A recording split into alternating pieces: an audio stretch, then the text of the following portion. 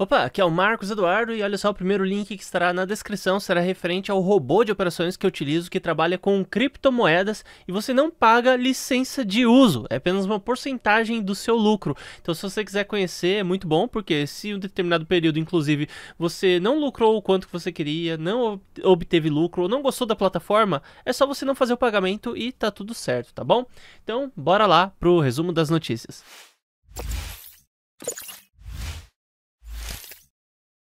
Ethereum irá lidar com 100 mil transações por segundo, diz desenvolvedor de atualização. Né? Então aquela coisa, Ethereum aí é uma moeda que, como eu digo, ela pode estar sob domínio do governo norte-americano, ela pode estar aí sob grande domínio de pessoas que não sabemos quem são. Né? Isso porque é um ativo que, embora se pinte como descentralizado, ele é centralizado. Uma grande prova disso foi quando o, foi acontecer a atualização do Ethereum, né?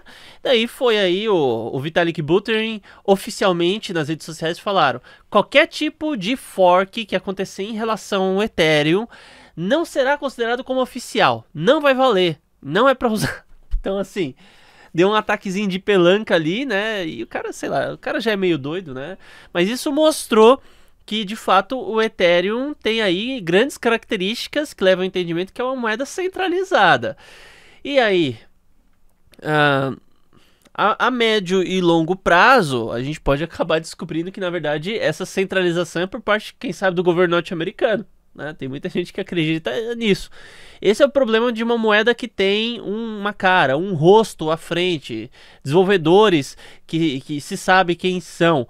Basicamente, o cara pode ser financiado aí pelo governo chinês, pelo governo russo, por algum governo mirabolante e para estar tá sob o domínio de alguma nação.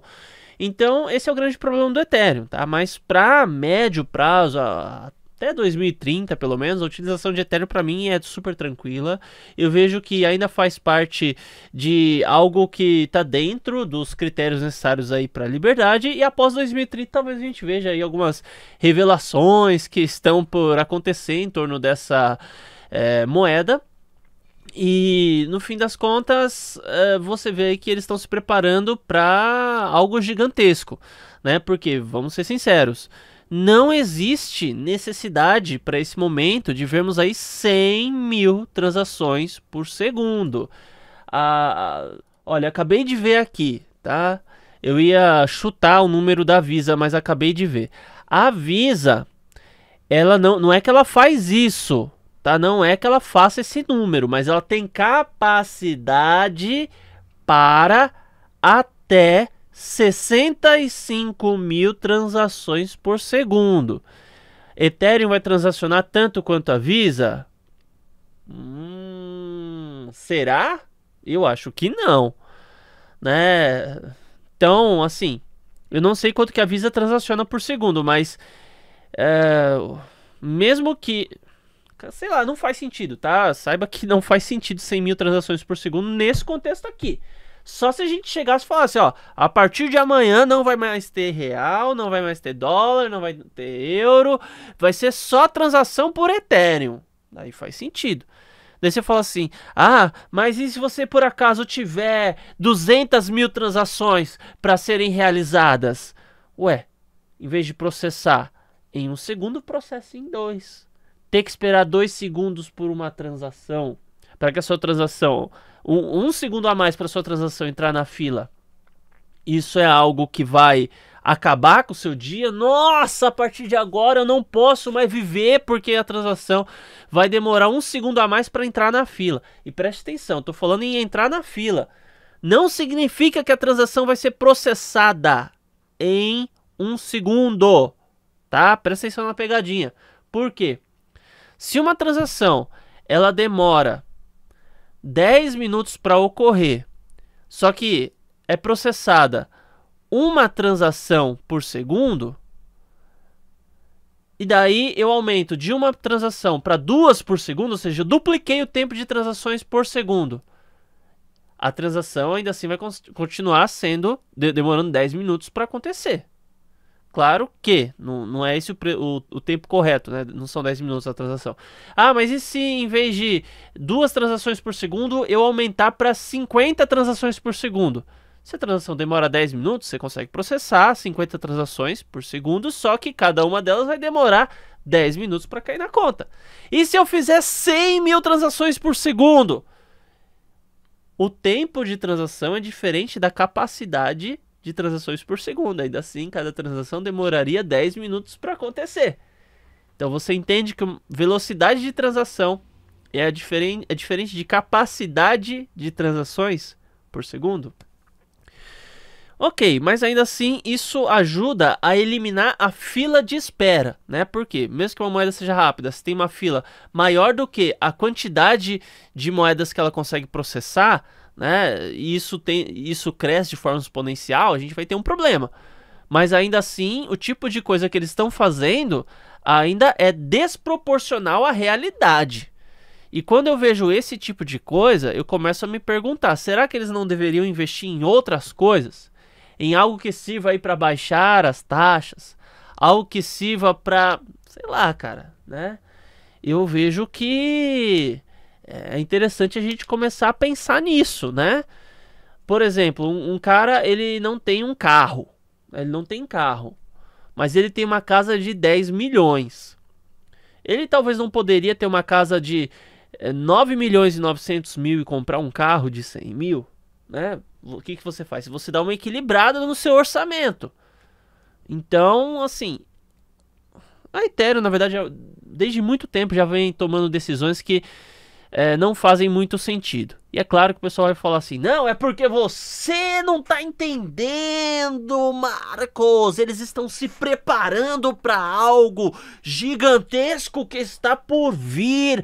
É, é, é, é, que depois vão vir um monte de transações novas e outras implementações que vão fazer o Ethereum bombar.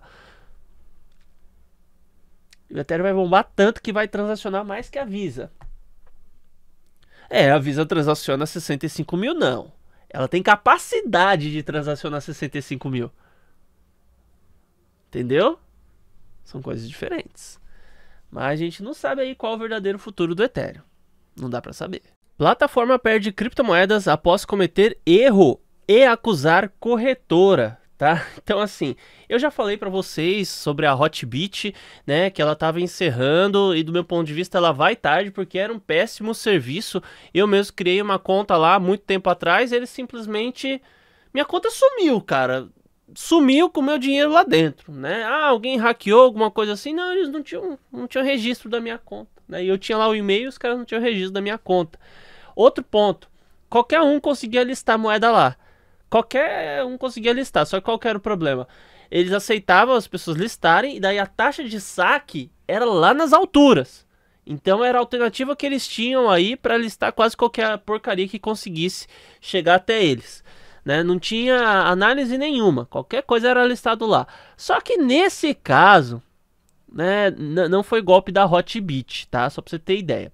O pessoal de uma empresa chamada Rick Crack eles foram no Twitter falando assim: ah, a Hotbit aplicou um golpe aí e a gente agora não consegue sacar o dinheiro. Só que assim, basicamente, pelo que viram, o que aconteceu foi o seguinte: a Hotbit, é, em maio, se não me engano, deixa eu ver aqui, é, 22 de maio, ela falou: ó, a gente está encerrando as nossas operações estamos em processo de falência, é para todo mundo sacar o dinheiro até 21 de junho.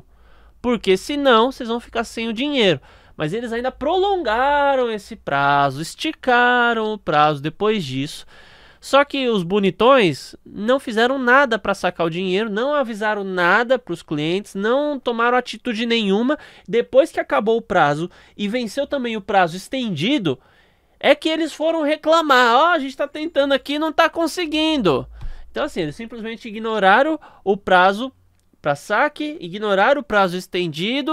Os caras não leem e-mail, será? O que, que, será que está acontecendo, né? E daí foram acusar a Hotbit. Eu vou dizer um negócio: Hotbit era uma corretora muito ruim, muito da ruinzinha. Só que nesse caso eles não aplicaram o golpe, não. Ferramenta de inteligência artificial revoluciona o tratamento de tumores cerebrais ao orientar cirurgiões, aponta estudo. E eu tenho quase certeza que vai chegar uma hora que a gente não vai ter nem mais médico atendendo. A maior parte dos profissionais de saúde serão aí máquinas que vão entender o ser humano melhor do que outros seres humanos. Isso daí é um fato, né? É claro que a gente tem um problema muito grande em torno da inteligência artificial, que é chegar um momento da singularidade, que ela começa a ficar assim mais esperta que o ser humano e não depende mais do ser humano para continuar existindo. E daí ela vai se autodesenvolver e vai começar a tomar decisões lógicas, né? Daí imagina um louco aí que programou alguma inteligência inteligência artificial, que, entre aspas, se libertou, e começa a, a seguir o seu protocolo, e o seu protocolo é proteja a humanidade. Só que ela decide que a humanidade tem que ser protegida dela mesma. Né? Então, assim, dependendo do que rolar aí pra frente, eu vejo que o, o nosso futuro pode ser meio sombrio.